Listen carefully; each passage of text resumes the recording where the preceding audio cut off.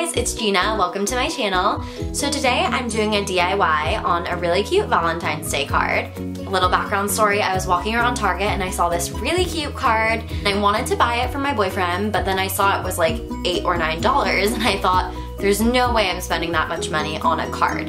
So I thought, why not try to recreate it myself? And what better way to make my first DIY video on YouTube than to recreate this cute Valentine's Day card. I hope you guys like it. Um, I hope some of you try to recreate it and let's just get into it.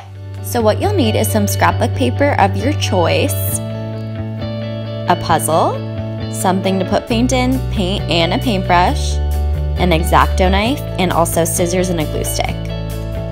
Alright, so we're going to start by emptying out the puzzle and just getting all the pieces spread out. Now we will put together the puzzle and just get it ready for the DIY. The tension in the air, you could cut it with a knife. See, I'm just trying to be somebody. You got me in love so deep. No, I don't gotta do these things. Just keep putting it together.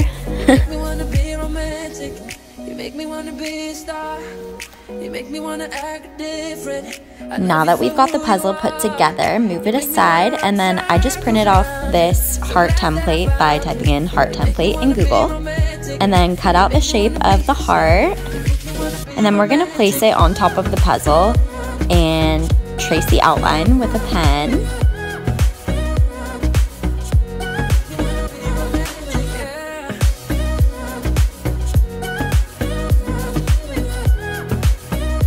So after we have the outline traced, we're gonna go over that with an X-Acto knife.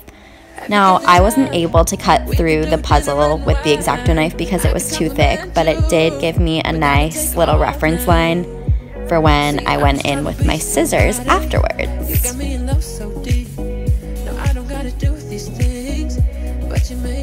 So we're just taking each piece um, one by one and cutting it where the little X-Acto knife line was.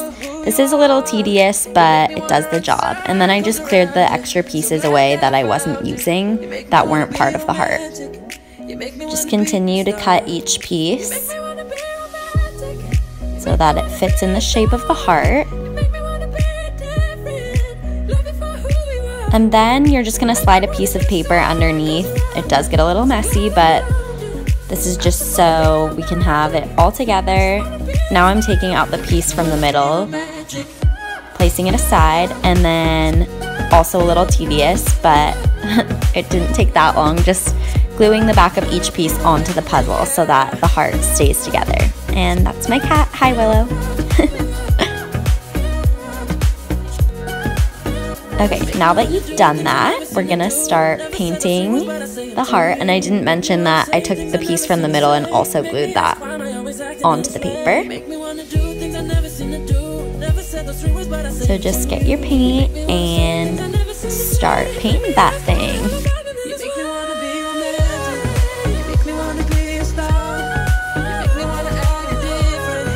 I waited five minutes in between each coat and then you're just gonna cut around the heart shape. Now I forgot to film, but I did cut out the middle of the heart where the puzzle piece is missing with my X-Acto knife. There's the finished heart. Then you're just gonna take whatever paper you're using and glue it onto there and also glue the missing puzzle piece on. You can take any kind of paper you want. I just use this cute scrapbook paper, but if you want to do cardstock and make it a real card, you can do that. What I made could either be a card or a piece of artwork if you want to frame it. It could be anything really.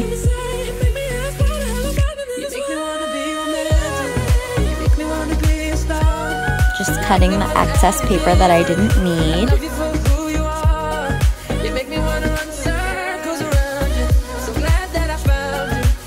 And then you're just gonna take the pen of your choice and I wrote, You Complete Me because it's a missing puzzle piece and it completes the puzzle. Super cute.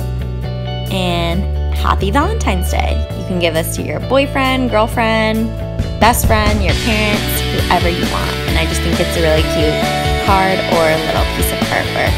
to enjoy. So I really hope you guys enjoyed so I really hope you guys enjoyed my first DIY video. Let me know if you decided to recreate it or do something like it and any feedback you guys might have. So let me know how you like the video and subscribe if you'd like to. Maybe give the video a thumbs up and thank you so much for watching.